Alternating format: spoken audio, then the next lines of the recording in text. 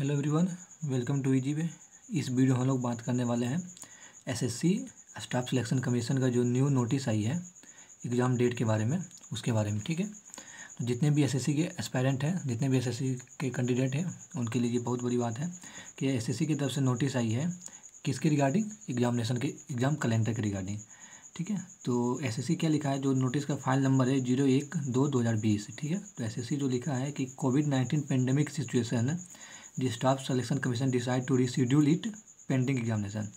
यानी कि Covid nineteen के कारण स्टाफ सिलेक्शन कमीशन डिसाइड किया है कि उसका जो पेंडिंग एग्ज़ाम है, उसको री शेड्यूल किया जाए। ठीक है? तो देखिए किस कौन कौन डेट पे कब कब एग्ज़ाम होगी। ठीक है?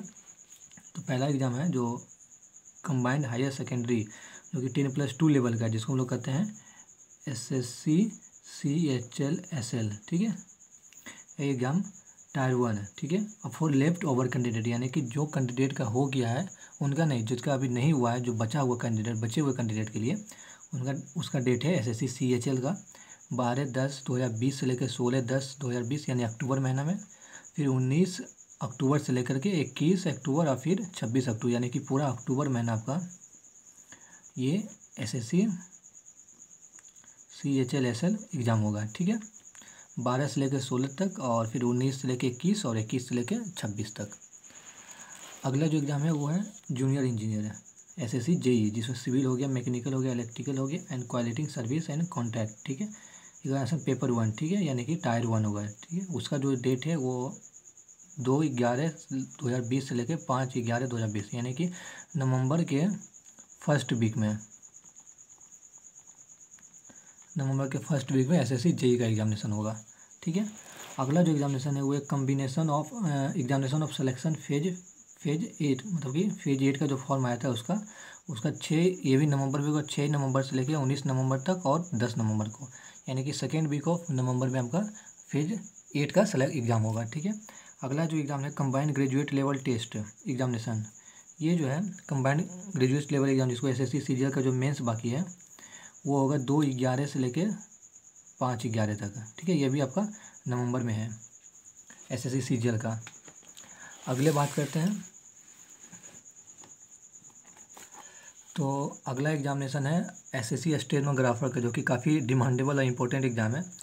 Grade C and grade D examination ठीक है? इसका आपका second week third week of November में होगा, यानी कि सोलह नवंबर से लेकर अट्ठारह नवंबर के सोलह नवंबर से लेकर अट्ठारह नवंबर तक होगा।